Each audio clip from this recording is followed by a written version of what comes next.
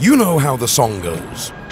You can't always get what you want, but if you try sometimes, you might get what you need.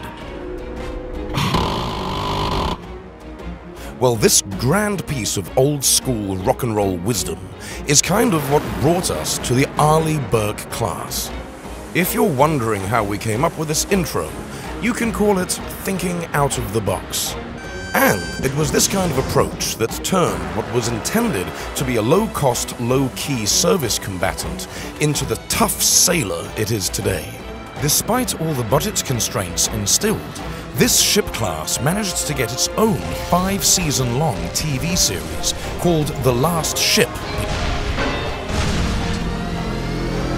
If that is not fulfilling the American dream, then what is?